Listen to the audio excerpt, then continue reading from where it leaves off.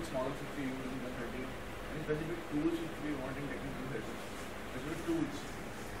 What skills do we require to do?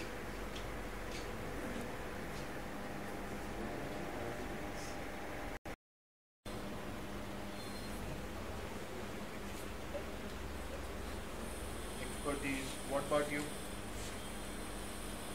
Real life uh, examples. What should be the success factors? Key success factors. Uh, different working models. So you just mentioned that uh, you know consulting companies are trying to reduce the time between uh, you know actual planning of the project and implementation of the project. So how does a consulting company actually ensure that you know when it's going to an external client, uh, they actually make sure that they study the uh, company model because there's you know there are very few generic models. So how does it ensure that it studies the company's model, gives it the appropriate uh, suggestion, and yet reduce the time? Okay.